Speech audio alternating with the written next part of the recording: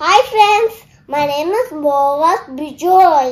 I am studying LKG. My school name is Oxford Center School. Today I am going to do an floating experiment. For this experiment, we have two glass of water, two eggs, and salt.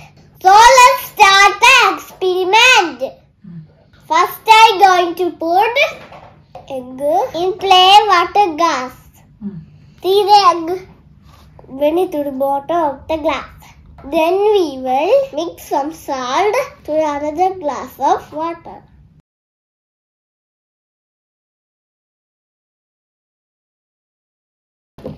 Mix well.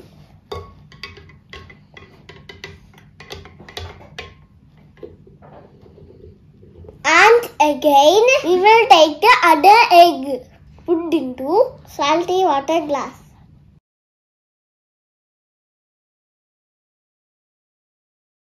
Now we can see egg is floating on the salt water. Hi friends, you know how this happened when we added salt into the water?